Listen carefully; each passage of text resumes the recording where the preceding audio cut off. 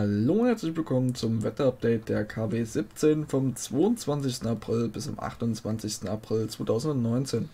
Im Hintergrund seht ihr eine Fotokollage von mir. Der Start in die neue Woche startet freundlich, nur ein paar harmlose Quellwolken können bei 17 bis 23 Grad beobachtet werden. Im Ruhrgebiet sind nochmal bis zu 25 Grad möglich. In der Lausitz bleibt es 15 Grad kühl. Der Dienstag startet ebenfalls freundlich äh, gegen äh, Mittag. Ziehen übers Erzgebirge nördlich ein paar Regenschauer.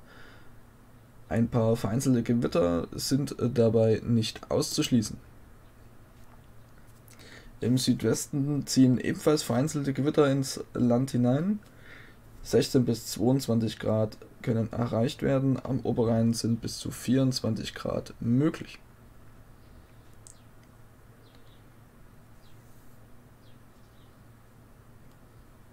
Hingegen im äh, Erzgebirge bzw. auch im Harz können nur 11 Grad erreicht werden. Der Mittwoch ist bei 19 bis 24 Grad von vereinzelten Schauern und teils auch gewittrigen Schauern übersät. Größtenteils bleibt es aber trocken. Am Nachmittag zieht eine Front aus Frankreich und die Benelux-Staaten zu uns hinein. Neben Regen, vereinzelten äh, Hagel und Gewittern äh, können äh, örtlich kleine Bäche über die Ufer treten, dadurch die trockenen Böden äh, das Wasser nicht so schnell in den Boden äh, gerinnen kann. Im Saarland werden äh, nur 15 Grad erreicht, im benachbarten, am benachbarten Oberrhein bis zu 27 Grad. Der Trend. Am Donnerstag ist es freundlich, vereinzelt ziehen äh, gewittrige Schauer durchs Land.